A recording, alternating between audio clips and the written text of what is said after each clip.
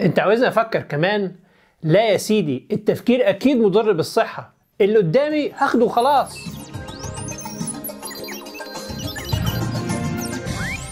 السلام عليكم ورحمة الله وبركاته. أهلا بكل الناس الحلوة في حلقة جديدة. معاكم الدكتور كريم درويش. زي ما قلت لكم في الحلقة اللي فاتت المخ بيحاول يوفر طاقته على قد ما يقدر. فلما يكون قدامه خيار بيحاول يبذل أقل مجهود هو بيختار. واقل مجهود ممكن يكون معناه إن هو ما يختارش خالص أصلا. في الحلقة دي هنشوف كسل المخ ممكن يوصل الناس لغاية فين وإزاي ممكن يأثر على قرارات مصيرية في حياتنا. خليني أبدأ معاكم من إحصائية عجيبة والإحصائية بتوري نسب الناس اللي عندهم استعداد إن هم يتبرعوا بالأعضاء بتاعتهم بعد ما يموتوا في أربع دول أوروبية. الواضح إن في تفاوت واسع جدا بين الدول وبعض. فهل مثلا إن المسويين أطيب من الألمان؟ أو هل في فرق في الثقافة أو الدين أو العادات؟ غالبا لا. جزء كبير من الفرق بين الدول دي هي الطريقة اللي بيختار بيها الناس إذا كان عندهم استعداد يتبرعوا بأعضائهم ولا لا. في هولندا وألمانيا مثلا لما الشخص بيروح يطلع بطاقة شخصية بيقولوا له حط علامة صح في الصندوق لو تحب تتبرع بأعضائك. أو بمعنى أصح قول لنا لو أنت عاوز. أما بقى في أسبانيا والنمسا فبيقولوا لهم حط علامة صح في الصندوق لو مش عاوز تتبرع بأعضائك. أو بمعنى أصح قول لنا لو مش عاوز. لاحظوا إن في الحالتين ما بيكونش مطلوب من الشخص إن هو يجاوب بنعم ولا لأ ولكن بيكون مطلوب منه إن هو يحط علامة صح في الصندوق أو يسيبه فاضي. بما إن القرار ده معقد ومحتاج تفكير كتير أغلب الناس بتسيب الصندوق فاضي.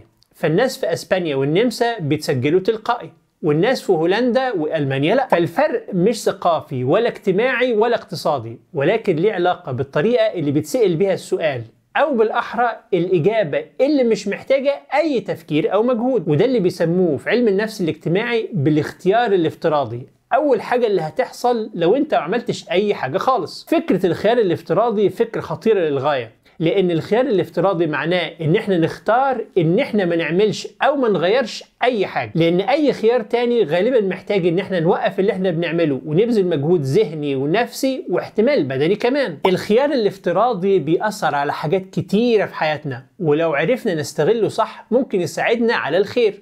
ولو خليناه يستغلنا ممكن نقع في مشاكل ملهاش نهاية. عشان نشوف خطورة الخيار الافتراضي خليني أقول لكم على دراسة اتعملت بالشراكة بين جامعة تورونتو في كندا وجامعة برينستون في أمريكا. الدراسة باختصار إن هم كانوا بيقولوا لمجموعة من الدكاترة إن في عيان كبير في السن عنده ألم في الحوض وبعد ما استنفذتوا وسائل العلاج المختلفة حولتوه لجراح عظام علشان يعمل له عملية. وبعدين وانتوا بتراجعوا الحالة مرة تانية اكتشفتوا إن في دواء لسه ما جربتوهوش احتمال يعالج الألم. فهل هتتصلوا بالعيان علشان تجيبوه تاني وتقولوا له على الدواء ولا لأ؟ لاحظوا إن الخيار الافتراضي في الحالة دي هي إن الدكتور ما يعملش أي حاجة وما يتصلش بالعيان.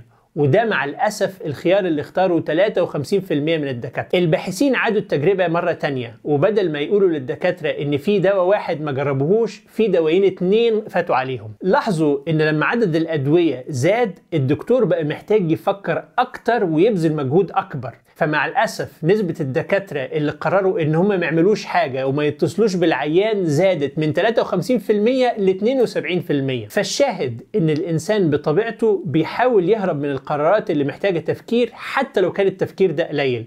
وبيفضل في أغلب الأحيان إن هو ما يعملش حاجة خالص. فلما تروحوا للدكتور ما تتكسفوش إن أنتوا تسألوه عن التشخيص وعن طرق تانية ممكن تكون متاحة للعلاج لأنه ممكن ببساطة يكسل إن هو يقول لكم. فما تستغربوش لما تلاقوا إن أغلب الناس ما بتغيرش الرنة بتاعت التليفون بتاعها إلا نادرا. وغالبا الناس بتتعشى أو تفطر عدد محدود من الأكلات لأن أي تغيير بيحتاج تفكير والتفكير مجهد بالنسبة للإنسان. لو الحلقة عجباكم لغاية دلوقتي like و share للحلقة هيكونوا مذهلين. في الجزء ده من الحلقة خلينا نشوف بعض التطبيقات العملية للاختيار الافتراضي. وإزاي ممكن حد يأثر علينا وإزاي ممكن نأثر على الناس وبعض التبعات الإيجابية أو السلبية لأن إحنا ما نعملش حاجة. زي ما شفنا في المثال بتاع التبرع بالأعضاء ممكن حد يغير الاختيار الافتراضي بتاعنا بحيث إن هو يزق المجتمع في اتجاه معين. فلما مثلا بنستخدم تليفون أو برنامج جديد غالبا بيطلع لنا مجموعة من الأسئلة بعضها ليها علاقة إذا كنا عاوزين نتبرع بالمعلومات بتاعتنا للشركة اللي عاملة البرنامج أو التليفون سواء الشركة دي جوجل أو فيسبوك أو مايكروسوفت. وكل ده بحجة إن هم يحسنوا المنتجات بتاعتهم. لو دوست التالي أو next في كل الشاشات فالخيار الافتراضي اللي هم حاطينه بيكون إنك موافق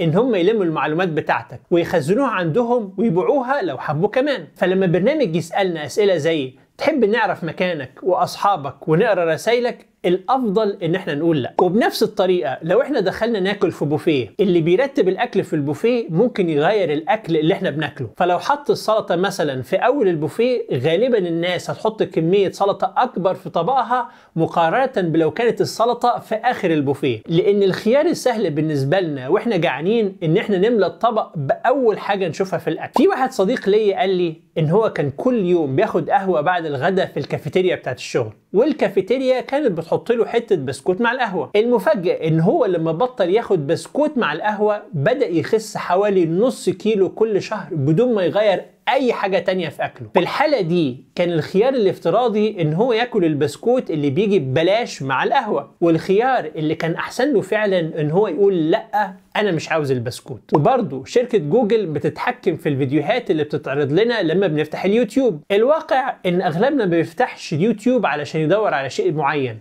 ولكن بنفتح ونختار من الفيديوهات اللي يوتيوب بيقترحها علينا. فالأفضل إن إحنا نغير من الحاجات اللي موجودة قدامنا أو في طريقنا بحيث إن إحنا نغير الخيارات الافتراضية بتاعتنا. قبل ما نحط في المكتب مثلا شوكولاتة أو شيبسي عشان ناكلهم لما نجوع ممكن نحط تفاح أو برتقان أو جزر عشان نحافظ على وزننا وصحتنا. وبدل ما نحط الكتاب اللي إحنا عاوزين نقراه في المكتبة ممكن نحطه على الكومودينو جنب السرير بحيث إيدينا تخبط فيه الأول وإحنا بنحاول نوصل للتليفون. وبنفس الطريقة ممكن نحاول نخلي الاختيارات الافتراضية بتاعت الناس التانية أفضل لينا.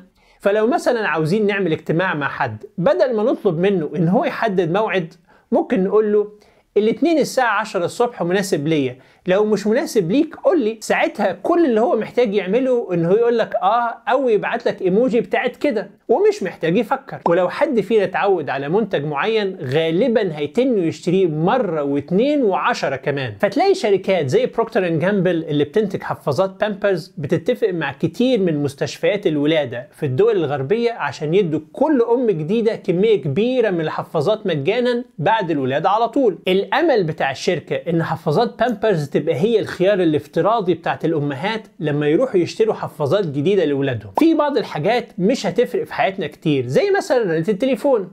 بس في حاجات تانية كون إن إحنا ما نعملش حاجة خالص ممكن تسبب لنا مشاكل أكبر بكتير بعد كده. تخيل إن أنت عندك حنفية بتصرف في البيت. لو أنت أخدت الخيار الافتراضي وما عملتش حاجة الحنفية مش هتصلح نفسها وغالبا التسريب هيزيد. ولو ابنك أو بنتك بدأوا يستخدموا كلمات ما تريحش أو مش مهذبة ممكن يكون الأسهل إن أنت تطنش المشكلة. ولكن ممكن نكتشف بعد كده إن هم اتلموا على شلة مش تمام والشلة دي بدأت تأثر على سلوكياتهم وأفكارهم وكل ما بيحتكوا بالشلة دي أكتر وأكتر كل ما إصلاح المشكلة بيكون أصعب. ولو في مشكلة في الشغل سواء مثلا مشكلة مالية أو موظف بينشر الطاقة السلبية أو مدير مش حاسس بنفسه وهو طايح في اللي تحتيه كل ما المشكلة بتتساب كل ما الدنيا بتعك أكتر. أنا عارف إن الأسهل بالنسبة لأغلب الناس إن هم يطنشوا بس الأسهل غالبا بيكون الأسوأ لأن المشاكل المالية هتزيد. والموظف أو المدير الوحشين هيسمموا بيئه الشغل وإنتاجية الشركة هتقل. الرسول صلى الله عليه وسلم قال لنا: من رأى منكم منكرا فليغيره بيده، فإن لم يستطع فبلسانه، فإن لم يستطع فبقلبه، وذلك أضعف الإيمان. فالرسول صلى الله عليه وسلم أكد على الإيجابية لأن هي غالبا بتكون تقيلة على النفس. ولكن السلبية تبعاتها ممكن تكون مأساوية. زيد على كده إن ربنا توعد الناس اللي كان قدامهم خيار إن هم يعملوا حاجة وعملوهاش فقال إن الذين توفاهم الملائكة ظالمي أنفسهم قالوا فيما كنتم؟ قالوا كنا مستضعفين في الأرض. قالوا ألم تكن أرض الله واسعة فتهاجروا فيها فأولئك مأواهم جهنم وساءت مصيرا. آخر حاجة موضوع الخيار الافتراضي مرتبط ارتباط وثيق بالعادات.